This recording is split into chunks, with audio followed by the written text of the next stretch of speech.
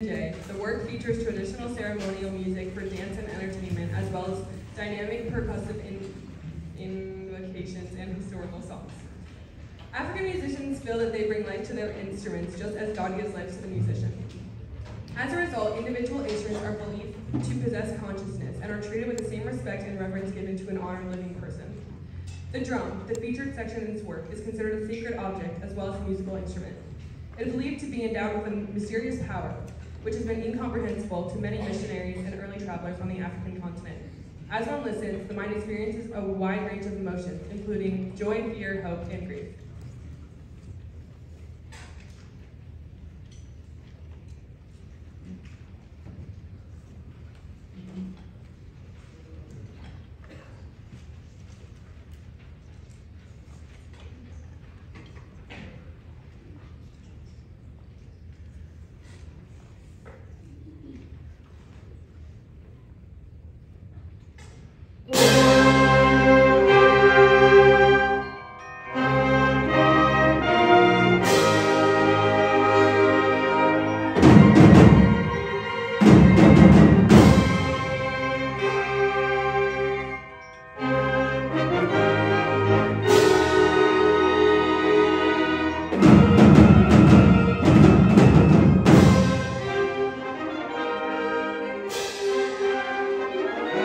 Thank you.